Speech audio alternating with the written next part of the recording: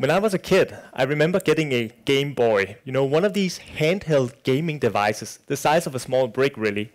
And I remember my dad told me that the computing power of my Game Boy was as strong as the first lunar landing space shuttle computer. And, you know, computers have just kept growing in power. Actually, on this dotted black line, we see something like a proxy for the technology of computers and how it's grown over time.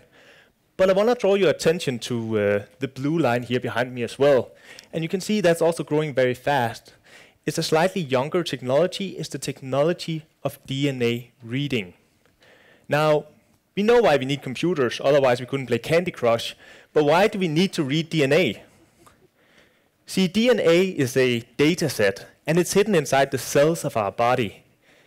This data set is kind of like the code inside a computer, it tells the organism something about how to function. And DNA evolved with life, so it tells us something about our ancestry, but it also tells us something about who we are today. And in a hospital, we might want to read DNA because sometimes DNA gets sick. It can mutate, and these tiny changes in the code, that is what in some patients cause cancer. One of the challenges to working with DNA is it's really, really complex. If just one patient coming into the doctor's office getting diagnosed with cancer, we take out a few cells and we put it into one of these DNA reading machines. We get the cancer DNA out. Let's say we want to print it on paper to show our doctor. We're going to get a stack of paper which is 130 meters tall. That's a lot of information, not very nice for a doctor to read. So I exploit that we have computer technology stronger than ever. I take 130 meters of data and I put it into my computer.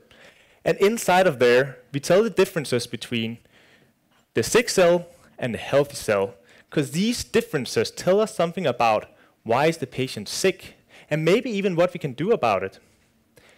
In particular, I'm curious about a fact about healthy cell DNA, namely, there is an autocorrect system when breaks happen, there's an autocorrection scanning the code, repairing all the spelling errors. In cancer cells, this system doesn't seem to work well enough.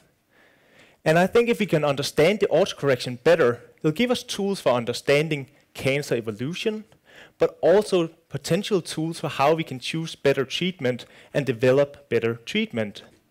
So I believe in a future of medicine where we use the superpowers of computer technology, and DNA reading in giving doctors the best possible tools for providing patients with the best possible treatment.